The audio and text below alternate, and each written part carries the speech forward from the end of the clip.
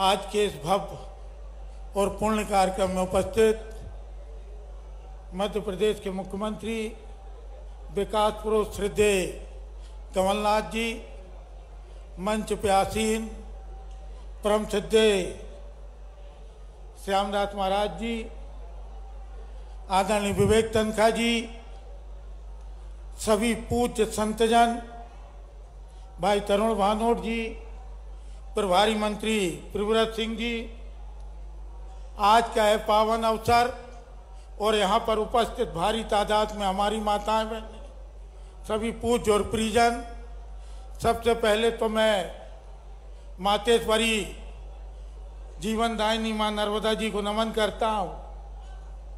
हमारा शहर संस्कार धानी का सौभाग्य है कि अम्मा नर्मदा माई की गोद में बसे हैं, गोद में बैठे हैं। और आज का दिन वास्तव में एक विशेष दिन है। मैं भाई तरुण भानोट जी को इस बात के लिए बहुत बहुत साधुवाद देना चाहता हूँ कि मातेश्वरी माँ नर्मदा का यह गौकुंभ वास्तव में जबलपुर संस्कार धानी की आस्था, भक्ति और निष्ठा का प्रतीक है।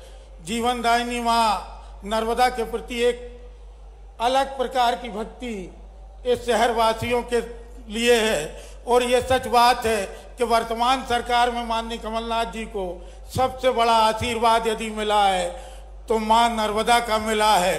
और मातेश्वरी माँ नर्मदा से प्रार्थना करता हूँ, इसी प्रकार से अपने आशीर्वाद को बनाए रखे कहा जाता है कि शिव शिव की, भगवान शिव की मानस पुत्री माँ नर्मदा के दर्शन मात्र से पुण्य है। जहाँ सरस्वती माता सरस्वती में सात दिन नहाने से पुण्य है। जहाँ यमुना में तीन दिन स्नान करने से पुण्य है। वहाँ नर्मदा माई के दर्शन मात्र से पुण्य है। इसी प्रकार से शहर पे नर्मदा माई की कृपा बरसती रहे। मध्य प्रदेश में नर्मदा नर्मदा माई की कृपा बरसती रहे। इसी शुभकामनाओं के साथ सभी को बहुत बहुत इस सफल सम्मेलन की बधाई धन्यवाद जय हिंद जय भारत।